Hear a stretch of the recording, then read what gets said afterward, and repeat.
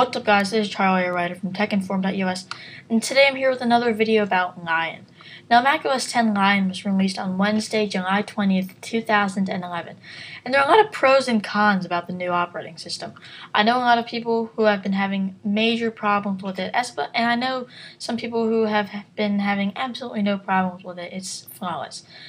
Now I'm kind of in the middle. I think that, well, my personal preference is that this is not the best thing Apple's ever done um, they could there is there it's significantly slower on my Mac. Now, not saying I'm on the best hardware, but um, it's much slower than uh, Snow Leopard was. It will if you do if you like doing a whole lot of things at once, um, it will limit your productivity. No longer can I have um, After Effects and Xcode open at the same time, or Photoshop and um, the App Store, something like that, um, and have it run smoothly. Now, I'm not saying it's not usable. It's definitely still usable, but it's not as smooth. It's not as Apple-like as we have seen from previous OSs. Now, um, today in this video, I'm actually going to be going over some app, new features of Lion, so you can kind of get a general perspective perspective of, of what you'll be getting if you do decide to upgrade to Lion. Now, um, taking a look at Apple's website right here, um, just I've just gone to the apple.com slash macOS slash apps.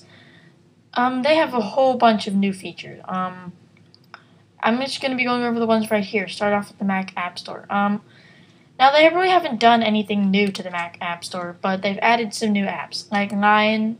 They have they've added Lion. Um, so pretty much looks the same as it was. Pretty much looks the same as it did when it was released in 10.6.6, I believe it was. So you still got all the categories and all this thing, all these things. So um, that's they haven't really done much to that except add some more apps that are compatible with Lion. Next is Safari. I'm using it right now. They've done a complete refresh on Safari. We now have the Readers tab right over here on the left-hand corner. Um, it has a very slight. It has it has a very slightly tuned interface, and um, another feature is that on the very top right hand corner, there's a full screen. Um, it'll basically go full screen. Pretty straightforward. Um, so yeah, makes it a little. It makes it a little bit um, easier to web browse the web without any distra distractions on your desktop. The next, I'm not going to open, open up Mail, but it's pretty much the same thing as the picture shows right here. Um, they've kind of done the same thing as Microsoft did with Microsoft Outlook. Um, they have the messages on the left and the actual um, pictures and the emails on the right, and they also have full screen mode. iCal. I can go. I can. I can go ahead and open this up. Um, they did a complete refresh on this too. So as you can see right here, I'm flipped to a different month because of privacy things. Um, it looks different. Actually, kind of looks like a calendar. Um, scroll through pages. Excuse me, like this. Um, just go through, and you can put the pages back. So, it's it's a very nice upgrade from the actual old iCal. Next, right here, I'm not going to open this up, but it's address book. They've pretty much done the same thing. You can swipe through pages and contacts. Time Machine, not too familiar with it. FaceTime, haven't tried it yet.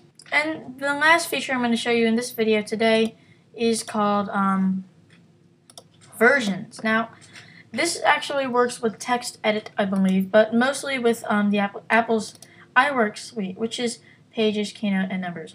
So I have this test document right here on my desktop that I just typed up this morning. Really doesn't have anything to do with anything. But um, we're just going to wait for Pages to load up.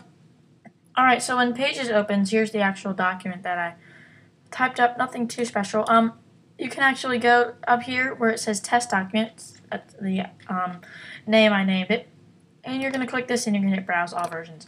It'll basically fly you up to a time machine-like interface where you can actually browse through all of the different versions that you've created. So, um, here we have the original document, and here we have four different versions of it. Um, here, let's say um, we have a little bar right here. I can click, and it'll basically scroll through. Right here. I might add this this part versions actually uses a lot of RAM, so and what's I find kind of cool is you can actually write your paper. Um, let's say I want to write, "Hello YouTube, this is," and blah blah blah. So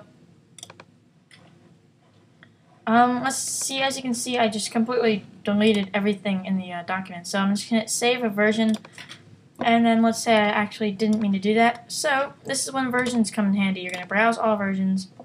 It'll fly you back up to that time machine-like interface.